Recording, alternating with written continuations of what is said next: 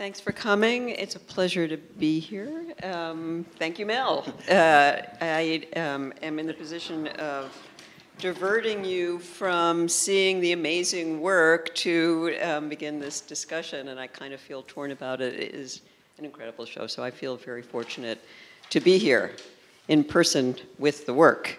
Um, I thought to begin this conversation with the question of exactly what sculpture is, which is, in fact, like so many things that should be clear, not a, not a self-answering um, proposition. Um, Mel staked his um, staked his place in the art world from the beginning on being um, being quizzical about what sculpture is. Um, he talks about um, entering the art world at a time where putting sculpture on a pedestal was an extremely radical thing to do. Sculpture had to be on the floor.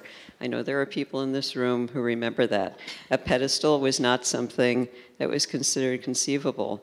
Um, and, you know, so being a sculptor, when you began, was like kind of making a statement. Um, but then you told um, Adam Weinberg more recently that sculpture is kind of limiting, and uh, these are things that um, were said in the catalog. Um, and then um, Carroll Dunham that it's um, it's been more that that sculpture as a discipline has been more thoroughly dismantled, even than painting, which has been pretty thoroughly torn apart. Um, so I wonder if you'd like to begin by um, updating well, this I'll, question.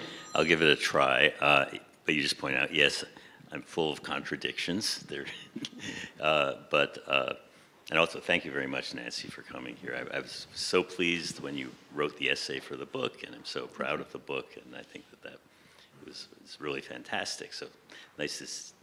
I think the first time you've seen the show is today. So uh, that's great. Um, the uh, did I decide to be a sculptor? Uh, I don't know. I, I, I, mean, I, sort of joke that I started with photography because uh, I liked it because it took no talent. Uh, you know, just just do it, and uh, so I sort of uh, somehow moved that into you know object making, sculpture, uh, because I, I you know, I never really studied or rendered things. I still don't do preliminary drawings of any sort. Uh, so I've always been very connected to the material uh, that I'm using. And uh, so, yes, I mean, sculpture, I'm just thinking to myself, that was, I went to college, I thought I was going to be a math major. Uh, and they're just having a lot more fun down in the sculpture department. you can play you, you play music when you make things, and you can talk, and you can see what other people are doing. It's actually I, I know I'm talking about the school part, but it's very competitive, uh, and that sort of keeps you going. You see what people are doing, you you know want to do something better, and uh, so it's a community dialogue that just didn't exist in any other studies that I looked into or thought about. Um, but when I came to New York, uh, yeah, I mean, sculpture, painting was supposedly dead, uh, but sculpture was on a, uh, a path of uh, sort of diminishing returns, I think. Uh, and I think that really it was the end of the, uh, I'd say, the, the modernist era. I mean, I, and, you know, the sort of, that art history as we learned it was a straight line, you know, basically from Impressionism right up to minimal art or something. Uh, and I don't know why, but I just was thinking recently, and maybe you know the book, but the the idea, I love the title of it, Suzi Gablik did, Is There Progress in Art? Because it seemed to me in the 70s that if somebody uh, you know, built something or uh, it was going to be a cube, or the next time it was going to be, you know, sawdust on the floor, or it, each thing was meant to be another step in this sort of prog pro progression. And uh, so, as an artist in the 70s, I was trying to figure out exactly what could I do. uh, basically, how could I fit into this narrative? So I was very conscious of what was going on. And of course, I started out studying with uh, Robert Morris and Tony Smith, and then working for Dorothea Rockburne and all the.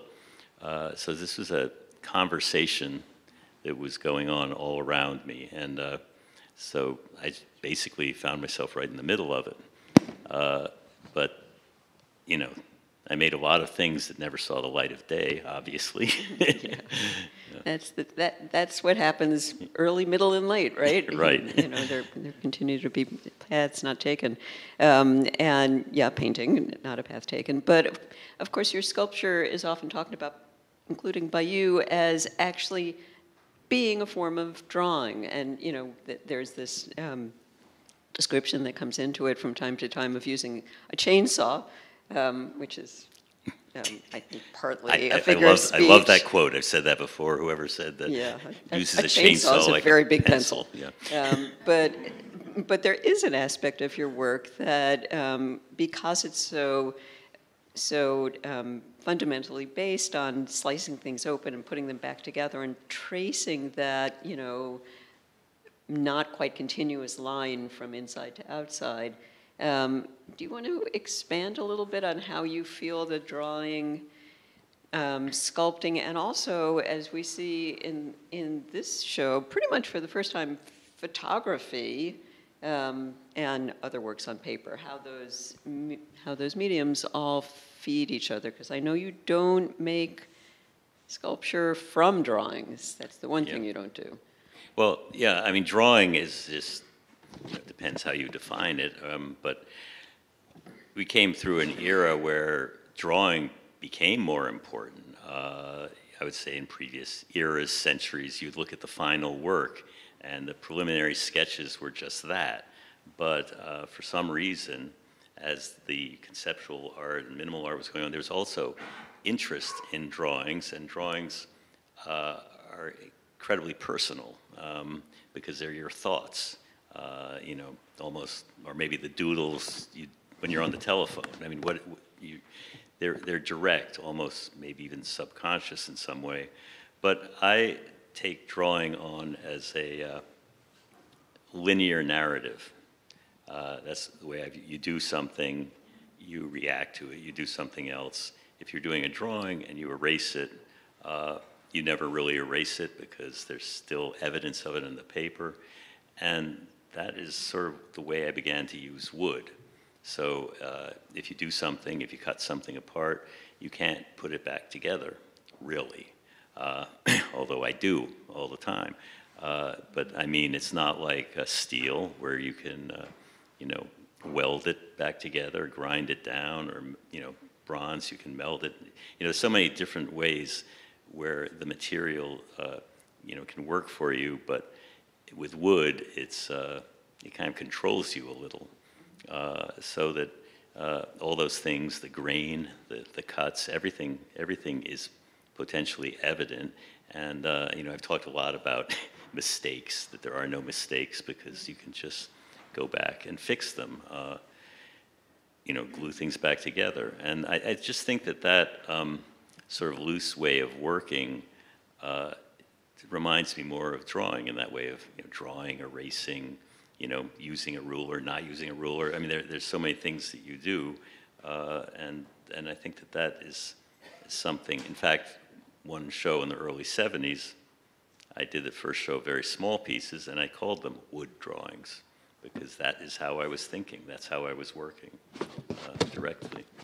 And talking about the work that way um, makes me think of another element of your work, which has to do with its, I want to say time-based quality, you know, that you've talked about the work being sort of happenstance, um, circumstantially caught in a moment of time, that it could always go forward another step or two, that we're catching it sort of in motion, sort of a freeze frame of um, a very complicated process, which we're invited to see, right? We're invited Well, I like the use of freeze frame. I, I like that because uh, that that is kind of it could go on, but in other words, you can't really finish anything, or it's, you don't want to finish anything because you want to stop when there are still questions opening. And in my mind, when I talk about the linear nature of the way I make things, move on and do it in another piece, uh, and you know keep going that way. But uh, yeah, it is. It's definitely there's a, there's a time element, and one thing you know follows the other.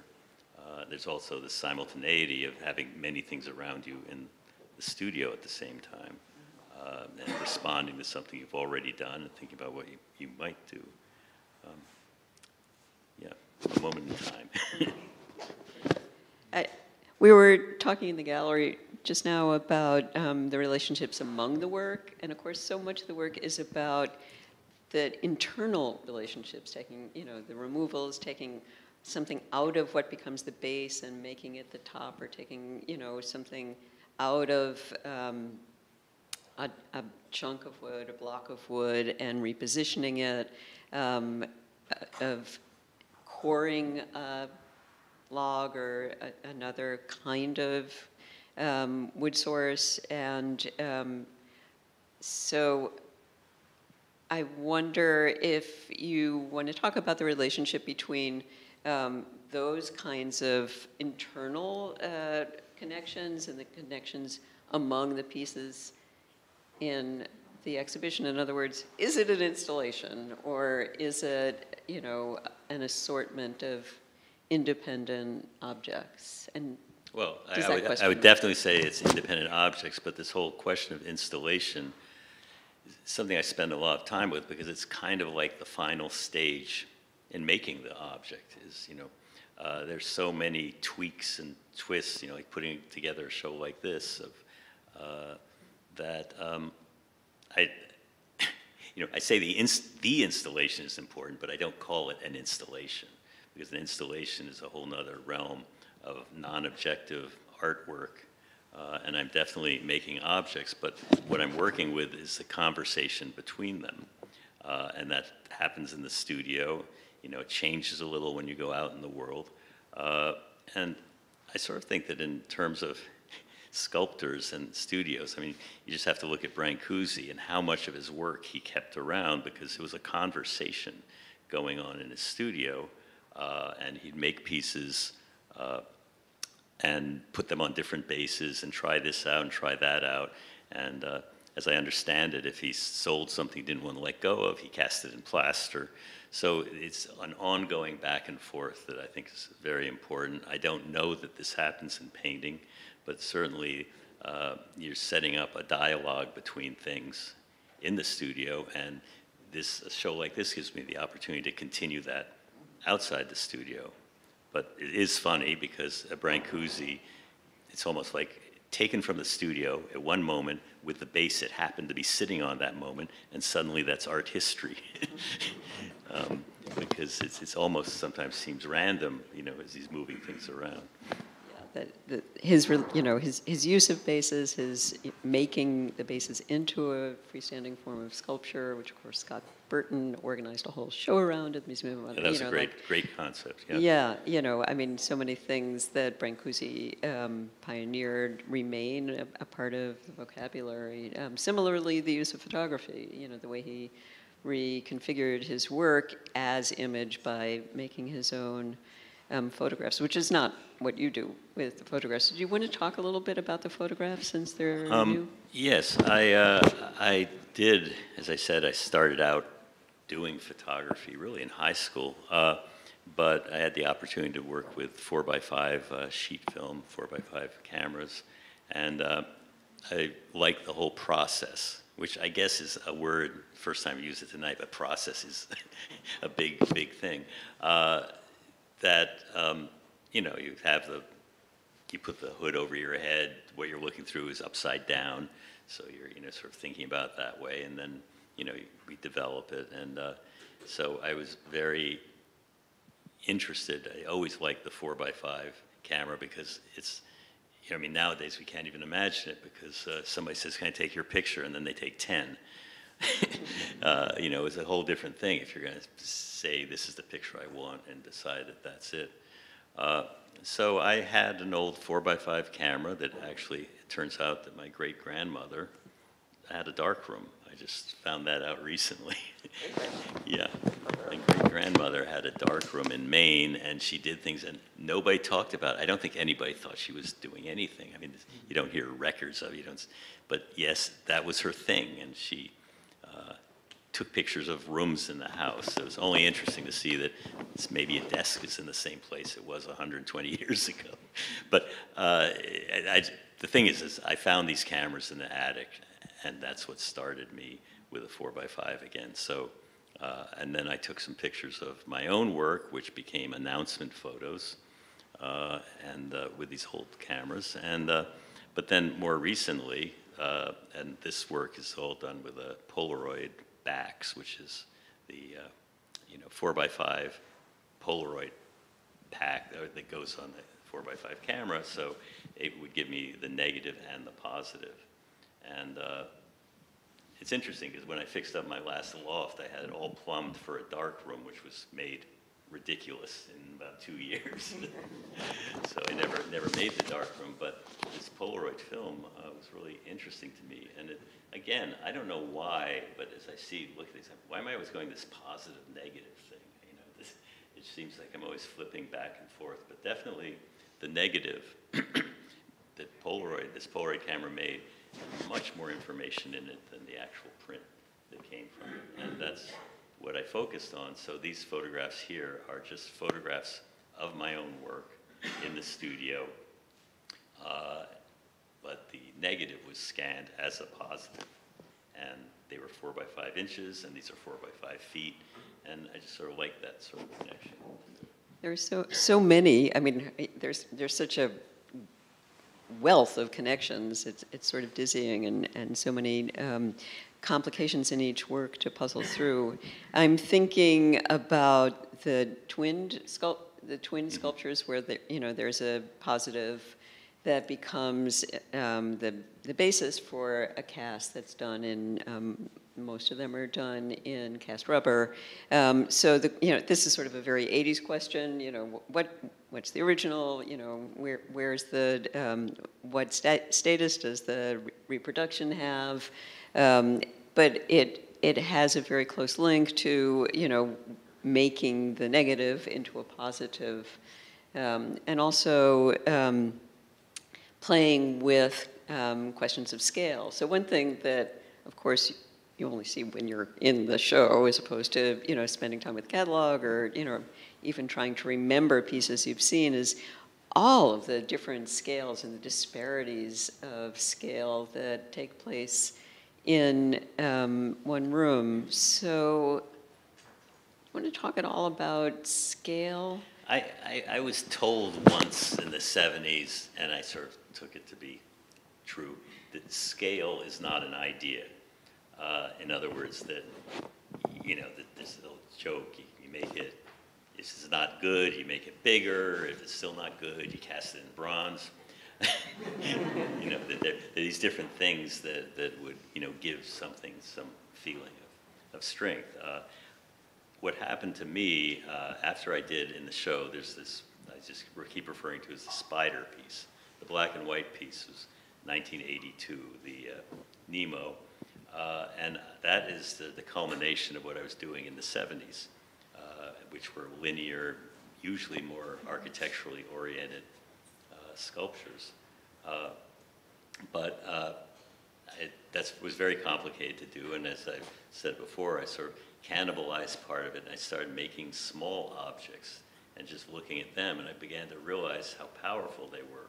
Uh, and this, you know, goes back to, uh, you know, Picasso, Glass of Absinthe or something. I mean, a sculpture, I felt, doesn't need to be big to be powerful. Uh, it's just, well, needs, needs to be what it is. So scale was a really important thing, kind of in the reverse of me going very small, so that uh, it almost limited what I could do with each piece. And that, of course, led into, well, what do you do with these small objects? And then I, you know, went back to these bases that uh, I constructed or had constructed, so that the viewer was connected to the ground and the sculpture was up here, sort of in the cerebral area. And uh, I felt that they were pretty scale-less, uh, you know, and I did not make them as maquettes. I just, they were sculptures. They are sculptures. It happened that some of them I did decide to make bigger. So, I mean, I'm susceptible to the power of scale too. I mean, I, the thing they did in this show, putting that large red, yellow, blue piece in the same room as the pieces I'm talking about, uh, was really uh, exciting to me to kind of play with the scale that way. But I actually, in this show, more than the Addison or more than any other show I've had, scale seems to be a big issue. Uh, not an issue, but it's something uh, that I felt seeing the work is coming out as more monumental than I imagined. And that's kind of exciting. I, I knew what the concrete pieces were going to be monumental. They're planned that way, but uh, it's. Uh, I'm surprised I have made so many big sculptures. I. You know. And, and, and that this is the space for them. I- I mean, it- you know, they, they live very comfortably in the space. Um, So, you know, there are a bunch of different scales going on here. Um, Some feel like um, thoughts that are, you know, going to be realized in, in more, you know, fully materialized ways. Um, Not to say that one is negligible and the other is important, but, you know, you use the, the term cerebral. Some seem to have um, the scale of trees, you know, that they hold on to that source material as a tree. And some seem quite deliberately um, the scale of people. And, you know, there is this question of anthropomorphism or um, a certain kind of um, humanness that comes into a certain amount of writing about your work and also some of the things you've said about eviscerating the trees and, you know, so, Well, that's, know. that's what I, I realized that, you know, I don't do, you know, it's no, nothing representational, but then it occurred to me it's all about, you know, the body. Uh, and you mentioned Scott Burton's, his, his chairs were about the body, the absence of the body. And I sort of think that these might be a stand-in without any specific references. Uh, but the vulnerability, uh, and the whole inside outside uh, the the organic versus the geometric. I mean there's there's so many things in there but the basic truth is that if you make something vertical it's going to look more like a figure than something horizontal will look more like a landscape. I mean so all this stuff is going on uh, and i find it kind of amusing uh, I mean, a friend of mine who saw this show and the, liked the black oil pieces, he said, he said, sort of like they're saying, uh, come dance with me or I'll kill you. and I, I know, I thought that was funny, but I, I, I, I, you know, I just, you know, they have legs, they have prosthetics.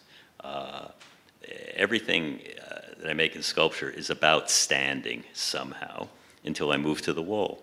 So, you know, they're references. Yep. And yes, some of them are a little more menacing than others, and, Yeah. some are more embracing than others, and and standing in the prosthetic that you know in the form of metal pipes or in the form of you know pieces of wood that are repositioned so they become feet.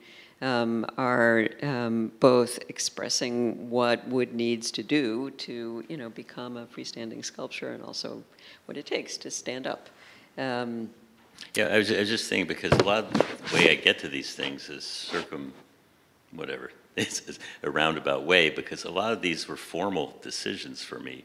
I was very interested in uh, the Rockefeller wing uh, and looking at um, you know oceanic art, different things, or even you could look at dinosaurs, and they all had these metal stands that held them up, but you weren't meant to see it. You're meant to look at the object and ignore what makes it stand, its presentation. So that was something I consciously thought of, and I thought, well, I, if I make it stand, it's going to be part of the sculpture. And that moved on into the, where I started taking part out and putting it on top, was that I was going to make a base and I was going to take the sculpture from inside the base and put it on top. So, um, you know, just about allowing that all to be part of the work. It's, it's a formal decision, and it's Yeah. also, I mean, you've talked about this too, in a sense, it's about content, you know, that there is something internal that, you know, is brought to the surface that, um, Is it possible that I just don't see content till later? because you know that's what we're talking about. Is uh, and even when I came up with this idea that it's maybe the human condition, maybe these props, and you know, I I didn't think of them that way. That's kind of coming back to look at them and kind of go, you know. Of course, I hear what other people say, but you know, also for myself is like um, those black oil ones. I mean, they, they've been through something, and yet I, it's, I really don't know what got me into that, making them that way, but that's, that's, I can't ignore that now. Speaking of black, of the black oil sculptures, do you want to talk at all about your use of color, your choice of color, and also how you use color to help articulate what's going on physically? Yeah. well, this is again very, everything's, I'm a very practical person. I, I come up with these ways of working. If I'm going to work with wood, I'm going to start with a piece of wood. Uh, and the way I've been doing it, because of the saws I use, uh, I don't chip away at it and wind up with wood chips on the floor. I cut parts out, and maybe later I put them in a different way. Uh, but this first object is uh, could be a tree trunk with bark, or or it could be a block of wood that I've made that we'll just keep with the black oil ones that I uh, covered the surface with uh, raw linseed oil and lamp black. Um, and in the world of linseed oil, raw linseed oil is not meant to dry or dries in three years or something. It's not something you, you use in painting. Um, but uh, that enabled me when I cut into these pieces and started moving pieces around that the very much like drawing, handprints and everything became part of the sculpture because we're working with this sort of oily um, black thing. So, so that that's the outside, you know, coming to the inside. But later on, I would just paint the blocks that I'd make, and I happened to have like this heavily pigmented. Uh, Japan oil color. It's a sign painter's paint. And, uh, you know, I just used the red, the green, the yellow, what, whatever, you know, came from the can. And that was the first thing I did. Then I cut into it. And from then on, you could see what was cut out, what was changed, and what was the original outside. And in the 70s, I moved into uh, a loft on Duane Street. There was a tremendous amount of old wood shelving. And uh, of course, that became my material for a while. Uh, but the thing is, is that you cut into the wood shelving and it would be kind of bright yellow, be the fresh cut. I really like the fresh cut versus the old wood. Um, but somewhere along the line, I guess I'd done it enough so I realized that 10 years later, my fresh cuts looked like the old wood. So, so that wasn't really, you know, doing that. But anyway, I started painting things and using oil, uh, you know, to sort of distinguish uh, the outer surface, which then turned up maybe it's the inner surface somewhere else.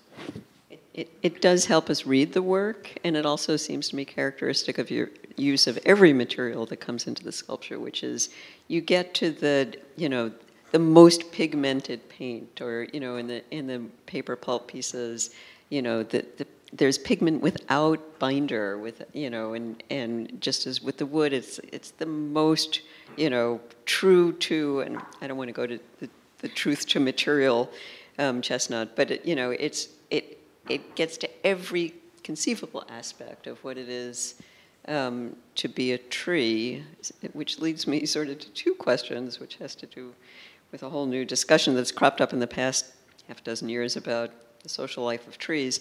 But before we get there, um, I, I, um, what you were just saying about you know using things that are you know that are on hand that are in the studio and um, and I think of your work as as having a lot to do with with parsimony with economy you know that nothing is wasted oh, which um, is kind of a Yankee thing and kind of a boat building thing, which you've talked about. Okay, so here's what I really want to ask.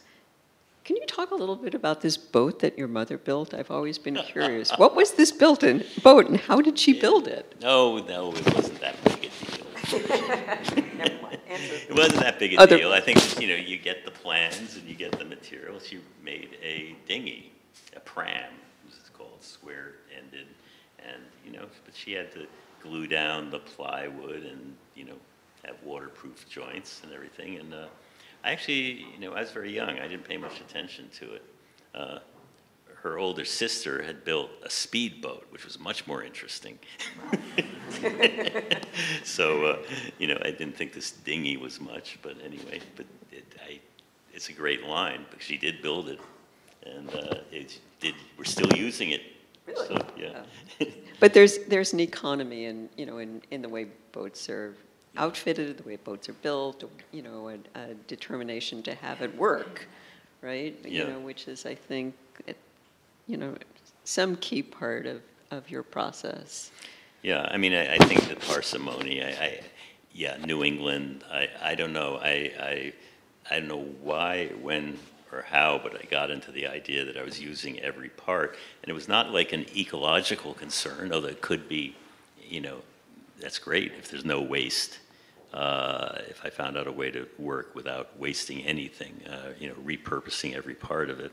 And you mentioned something about, you know, things in the, in the studio. Another thing that I always felt uh, is that there's no reason to not be able to work. In other words, I've known people, artists who have these great ideas, but they need funding so they can get all this, you know, whatever film made. You know, there, there's so many obstacles to making art, and my feeling was, uh, no, you just have to decide to do it. Uh, so that you know, picking up things, repurposing things. Uh, uh, using what's in front of you, even if it's inferior or it's not what you thought you wanted, uh, I think is much more constructive than uh, thinking about what you don't have and what you need. So that's, that's kind of part of it too. And, you know, going back in, in a not completely facetious way to um, thinking about trees and thinking about, um, about their relationships among each other, um, it's one of those things that has really fundamentally changed over the course of your career, and um, I wonder if that has played into your thinking about your materials. I'm not quite, quite sure what, what's, what's changed about trees, except that we're worried about losing them. Is that, what, what are you referring to? Well, I'm just referring to, you know, the, the discussions that have been taking place about trees communicating with each other, trees Mm-hmm. helping each other out, trees, you know, trying to support each other and defend each other Yeah. against. I'm not, I'm not very nice to trees. That Sure you are. That worries me. I can't follow that. No, you, you, you salvage the ones that are, you Yes, know, I that do. are I almost save them. I save them. Yes, I give them.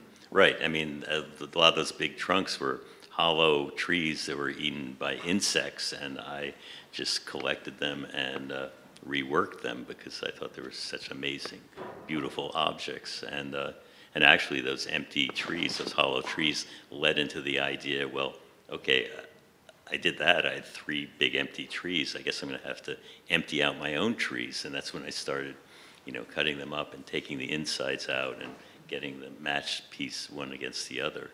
Uh, so there's all sort of, I mean, that's almost kind of uh, pseudoscience or analytical, is uh, because you know, how do I make those things? I, I, I make them into such small pieces that I can't even recognize what they are, and then it's you know up to me to figure out how to build it back the, the way it came. Uh, and I don't know, that somehow that keeps me interested. and the rest of us.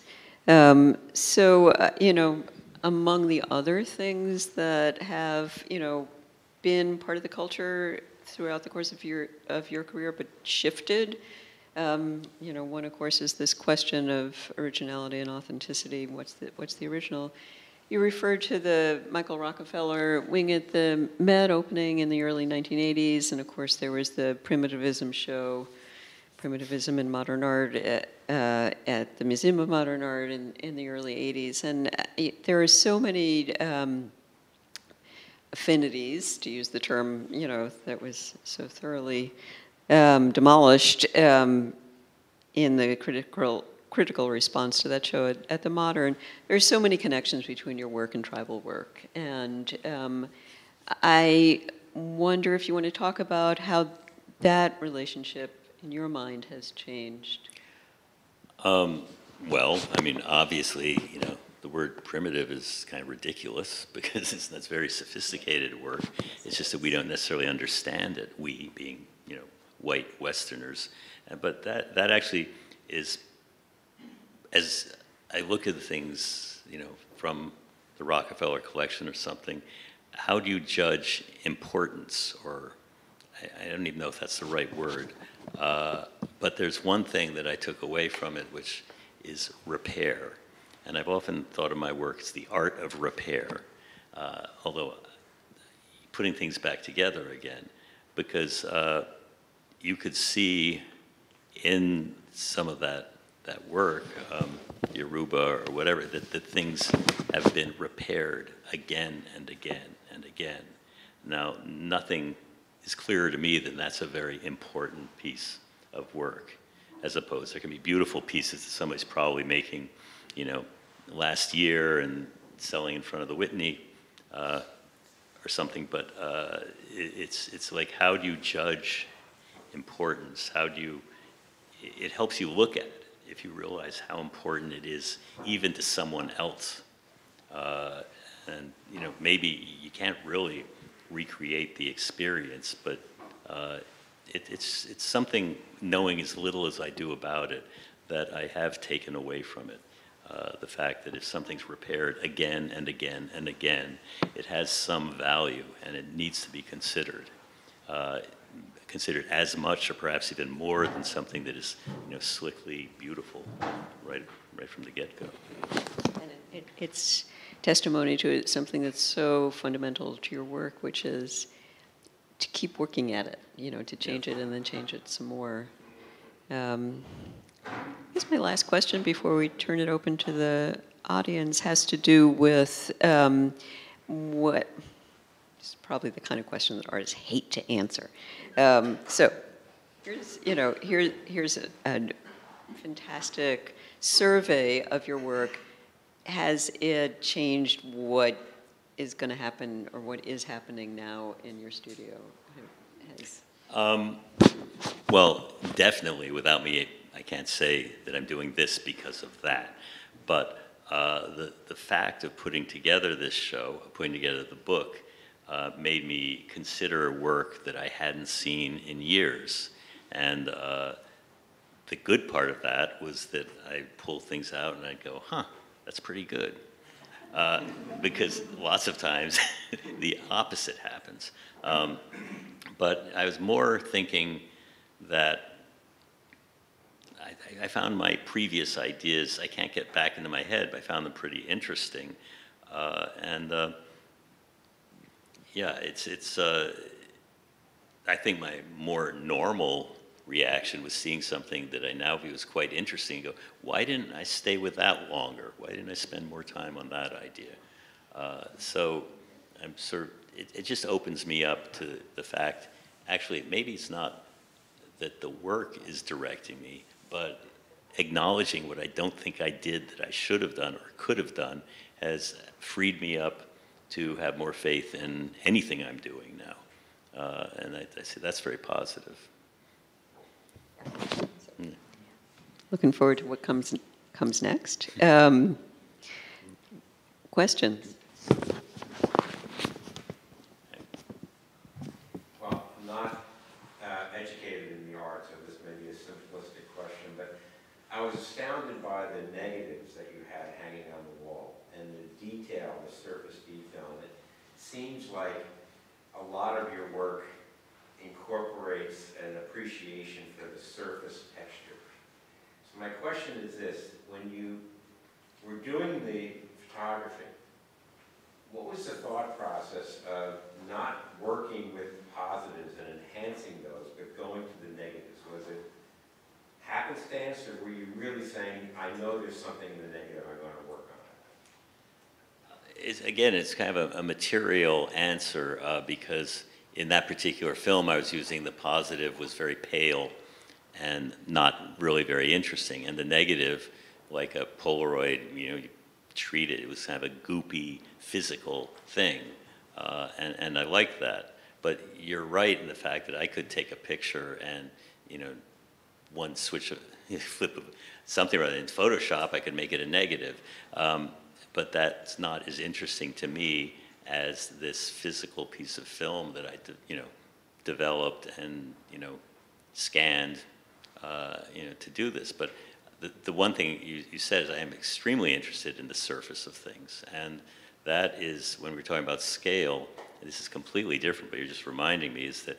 Uh, and I make all this work. I, I, the big pieces, I'm, you know, the concrete pieces is, they are, you know, I don't want to say handmade, but uh, I like the saw cuts. They show where you've been. And uh, it, if it has, a, if it needs screws or bolts to hold it together, you know, I like that. Everything is the scale that it is, and that, in that way relates to the body. The photographs, of course, that scale is uh, thrown off kilter, and but that's interesting too. But you know, they, I've said that it's much easier to instead of looking something you know, like a tree, uh, and you would understand it immediately. But when you do it in the negative, suddenly the interior lights up in a way that uh, so you see things that you just plain wouldn't see uh, otherwise. Hi. Oh, please. Um, Let's see, as an artist, I know that you have certain aha moments, um, either in terms of an idea or technically how you work with material. But I'm wondering if you could just talk specifically about like one of your bigger or more favorite aha moments, you know, that, uh, perhaps that led to a whole body of work or something like that. Uh, that, that's a good question. You're certainly right that there are moments like that. I mean, I think that when I uh, started working very small and I realized that I don't have to do that much to make a sculpture. In other words, maybe my work was getting too complicated because everything that I've done small is like, that would be great if that were bigger. I mean, what, you know, because I, I was limited, physically limited in how I made it and the type of cuts and what I could do. But when you started out saying aha moment, all my recent aha moments were installing this show. because, you know, like putting uh, in the first area with uh, Nemo, putting the other black and white wall piece way up on top of the wall, you know, ah, you know, because before it's always been like a painting on a lower level. And that, that, was, that was great. And, um, you know, and there are a few others. I, I love the theory, the concept that I put all the concrete pieces outdoors. And so I could really use that glass entryway, you know, window, so the, show starts before you come in the building, out in the field, on the deck there, and then continues right on there in the lobby. Uh, and these are things that, you know, I hadn't seen before, so until I did them, I didn't, you know, it was, aha, that's great. And that, that was fun. So there are quite a few of those within this show, making the show. Yeah, I was wondering if you could talk about gravity. I noticed in two of the pieces you used metal rods and other implements that are not wood, and I thought, I loved it actually, it's really interesting. When you're building them, they're not necessarily standing up? Oh, well, the ones you're thinking of, uh, I actually suspended when I built them. Ah, Uh, so how they stood was the last stage. Uh, you know, they, I'm talking about the, the black oil pieces that are really just thrown together in the most sort of chaotic way and, you know, attached all different ways. Um, but then I knew maybe I had a part that was, I knew I had to make it stand. So uh, either I could do it with the wood that was in the piece or I had to add something. Uh, but the one thing that I think of, and it's come up when I've installed outdoor pieces or thinking about foundations and stuff, all my work stands directly on what it's on. In other words, there's no hidden anything. So, not to mention my friend Joel Shapiro, but it takes a hell of a lot of structure under the ground to have a figure leaning over like that. So in my mind, what's really going on is totally invisible. So anyway, I like that it'll be visible, yeah. Um, I have a question. When you are confronted with tree trunk, do you have any idea what you're going to do with it or to it? Or is it the material, is it the process, is it the chainsaw? What, what kind of drives you on? I mean, I always thought of you, and this is a compliment, as sort of a mad scientist or a chainsaw massacre. Um, You know, what, what, what makes it go? Um, I don't know what I'm going to make. But that's right off the bat. I don't go, oh, that would make a good something or other, because I don't know what it's going to be. Um, things start with very basic. Hey, that's cool. that's cool. Look at that piece of wood. I think, well, I've got to cut it up because I've got to get it into this truck and take it to New York. Um, you know, and then I get it back, and then so I'm always dealing with something that I did for another reason. And I think that that's sort of the chain of events through making something. I call it, you know, things done for another reason. So that I may have bolted it together, I may have made uh, dovetail joints that I decide not to use, but it's all, you know, there. And uh, but there, I don't have any master plan at all. Uh, the difference with using the big trees in there is that the I, the time frame of making them was very different because the temporal quality, because I had to think about them. They were there, they were around me, they were bugging me, it wasn't right, what am I going to do? So, uh, you know, they could take really a couple of years of taking up space in my studio before I did something that made them a sculpture for me, that made them feel personal, because they're not personal when I bring them in. I don't know if that answers your questions, I'm sorry. Thank you. Hi. Um, I have a couple of questions, but I think I'll just ask one. Uh, You're talking about the Rockefeller wing and um, some of the things that you get inspiration from. I- I've noticed that you use um, some uh, African symbols that are cut into like that big uh, oily black wood piece that's got the inverted triangles that you can see all the way through into, and uh, I was wondering whether or not you, um, you have, see the symbol first and then decide, oh, that would be something great that I'm going to cut into this piece of wood? Or does the wood inform the fact, do you, get a flashback into some of these symbols that you've seen that you would like and, uh, want to use later? Um, Well, um, your use of symbols, I'm not quite sure, because I'm not, I, I definitely, when I prepared the block before I started, some of those pieces, I made the block hollow. Uh, And that's just basically because maybe I didn't have enough wood, or maybe I thought it would be, you know, interesting to cut through and see it that way. Uh, And, uh, but symbols, I think about, you know, what are the symbols of objects, abstract objects? And, you know, I mean, mention, you know, the primitivism show or something. They're, they're things that, there sort of like seem to be only so many things you can do. For instance, all that, that sawtooth shape that comes out, which I like, which I use a number of times.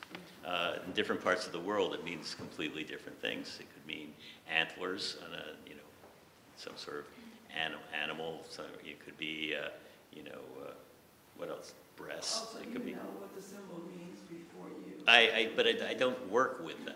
I'm just saying that, uh, that there are only so many, you look around and you say, okay, you're gonna make something out of wood. Uh, and, you know, before you get into total realism of some sort, uh, you know, what does this mean? Uh, and I just see the, you know, preponderance of, uh, you know, I really like, you know, Yoruba masks and the way pigment was put in those. And, you know, I'm, I'm not copying them, but it's just, I have a saw. and the saw cuts this way. and, uh, and then, then, you know, I see, oh, Well, well, that little one, this, the one that's like, um, the triangle with the, the small point is the front, and then the other one, then you look straight through it.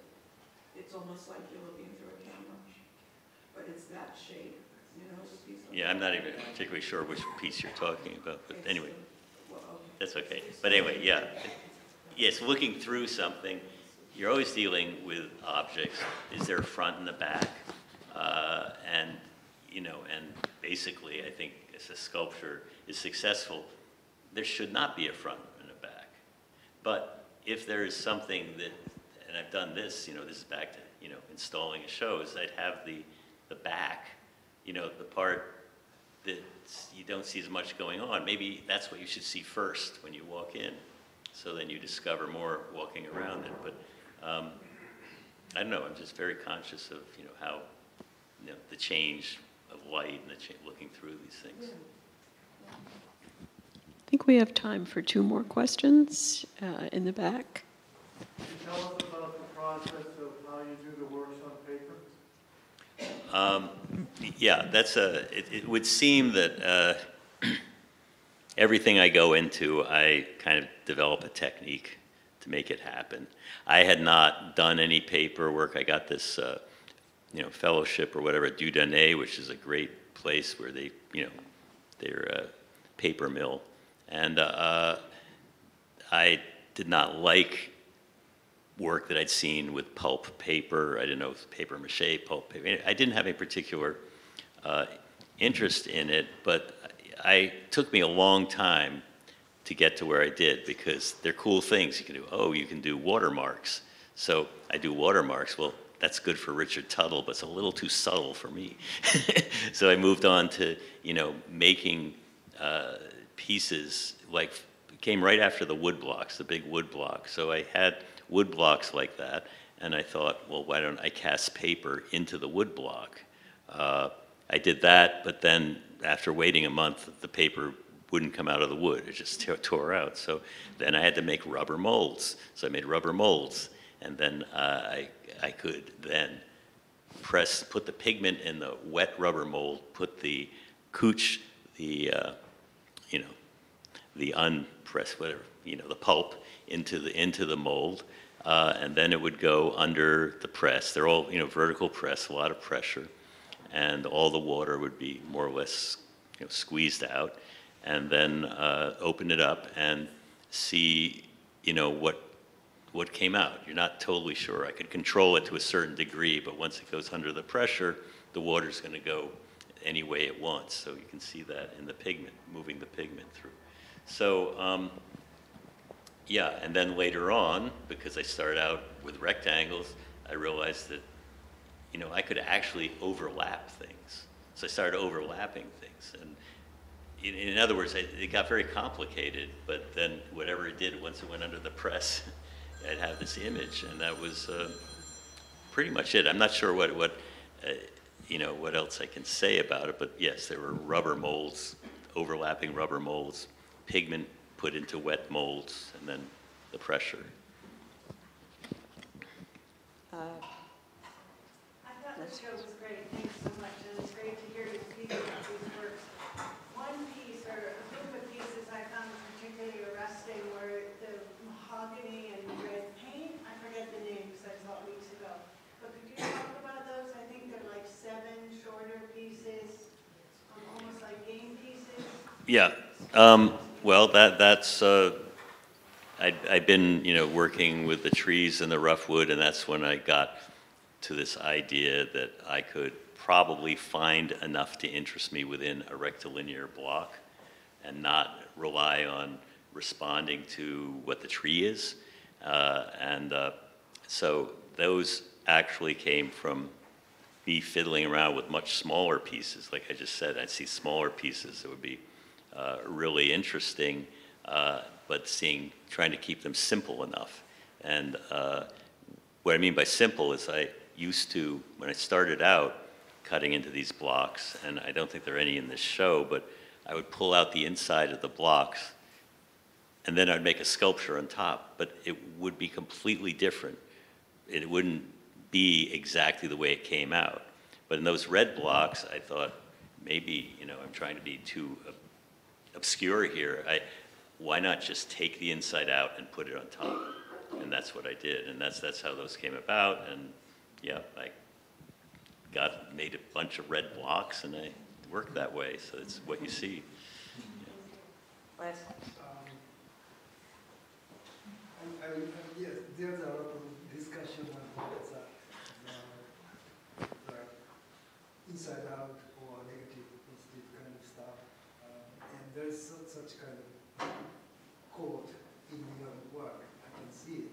But at the same time, many of the work very ambiguous things there. The, the, the, the combination between pieces and uh, assembled piece is so, uh, some parts are very logically connected, some parts are not really logically, but uh, it seems like some kind of a hidden code is there. I, I just, um, there any kind of, you can add some language between the, the connection between the pieces and the coordinates? I, I, I think um, what we're looking at here is actually 40 years of work, and so that if I was doing things that were very clear, I be more fun to do things that weren't so clear. In other words, like my move to the black oil pieces, which came after the pieces on the bases there, where you could see everything going on, the black oil pieces, I thought, I really want pieces that don't go together. I want them sort of blown together, like a reverse explosion. So I'd make all these little sculptures, cut them up into these, each piece was interesting to me, and then I'd sort of try to, you know, get them back together. But I sort of think what you're saying is the retrievability of information. Sometimes you can see exactly where something came from. Sometimes you can sense it because you sense the curves, the negative curve. You, you kind of, without even knowing it, there's a cohesion to the work because of this positive negative thing. But you can't put it back together. Uh, and that's just sort of, you know, the, the waves of working different ways at different times. Sometimes it makes more sense, other times it doesn't. Keeping us guessing. Um, Thank you all for coming. Thank you, Mel.